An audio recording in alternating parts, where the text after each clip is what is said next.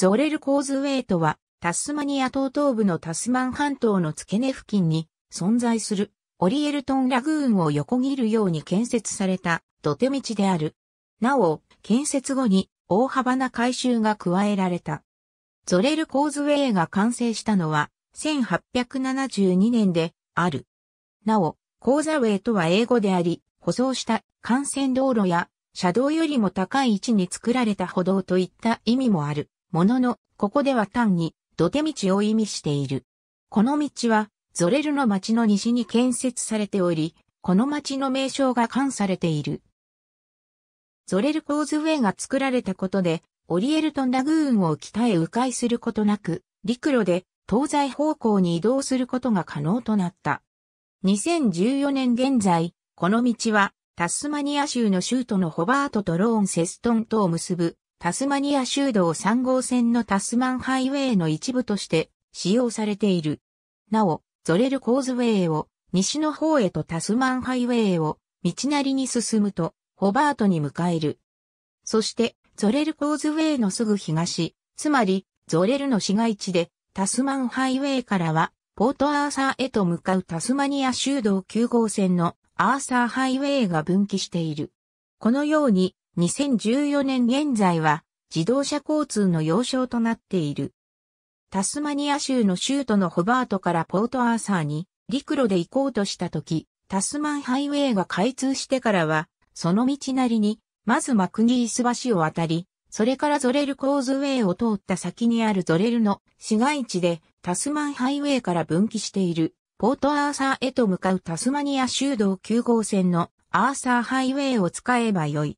この経路の中でゾレルコーズウェイは、すでに1872年には建設が終わっていた。しかし、現在のタスマンハイウェイのように海を横切ってしまえば、ホバートからゾレルまでは、高田が 20km 強程度の距離しかないのにも、かかわらず、1872年当時からゾレル、コーズウェイが主要な経路であったわけではない。植民地時代は、ホバートからポートアーサーへ、陸路で行く場合、まず、ストーム湾が北方へと深く入り込んでいる場所、つまりダーウェント川の川口付近に存在する三角港を北へと迂回する。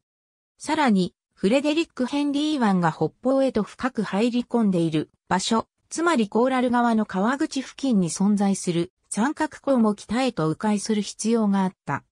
このため、まずは、ホバートからは北上して、リッチモンドに作られたリッチモンド橋を渡って、そこから南下して、ゾレルへとやってくる必要があった。そして、ポートアーサーへは、このゾレルから向かうのである。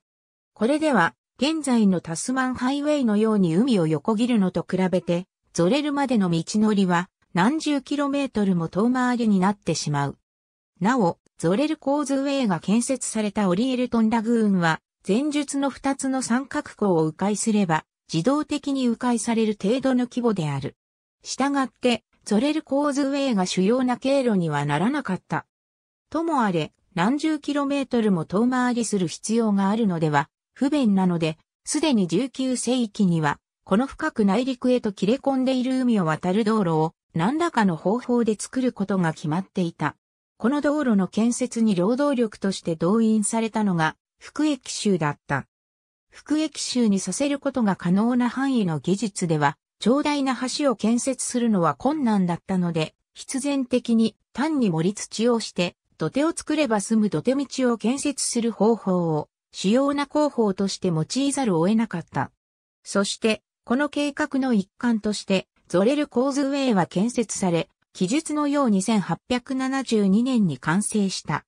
ちなみに、ゾレルコーズウェイは福駅州に建設させるという方法で建設した土手道としてはタスマニア島の南東部では2カ所目である。ゾレルコーズウェイは1872年に完成した当時ままの形で現在のタスマニアハイウェイの一部として使用されているわけではなく大幅な改良工事が加えられている。それもただ単に路盤を強化しただけといった単純な改良工事が行われたわけではない。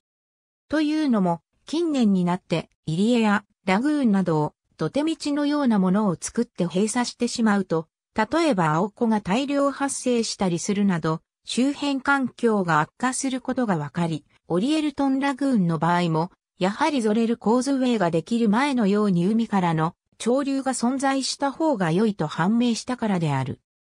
そしてその上、オリエルトンラグーンは、オーストラリアとアジア地域と移動する渡り鳥や、付近に生息する小菌類や海鳥などの鳥類、また水草などの植物にとっても重要な生息地となっている湿地として、ラムサール条約に登録されており、タスマニア州政府は、ここの環境改善をしようとしていた。そこで、ゾレルコーズウェイは、土手道のまま残存させはするものの、土手道の下を水がもっと自由に通過できるように、それまでなかった水路や水門を土手道の下に新設することで、オリエルトンラグーンの環境改善を図った。この改良工事と同時に路盤を強化するということも言った。この結果、ようやくタスマンハイウェイのオリエルトンラグーンを超える部分として、このゾレルコーズウェイが利用できるようになったのである。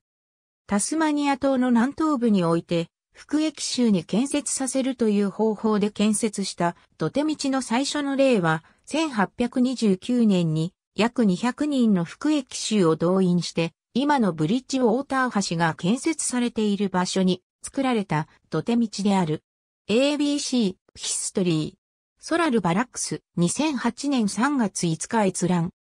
ピーター・ボルジャーチョ、モリソン・アスキン、ハットタスマニアンコースツクリーンシーズプロジェクツ4。2000から2001 P1 ピーター・デイビーズ、ローリー・クック、トムス・ローン、オリエルトン・ラグーン、チェンジズ・イン・ザ・ベンシック・マクロ・インバーテブラッド、コミュニティ・ビトウィン 1999&2005-2006 年3月、更新。ありがとうございます。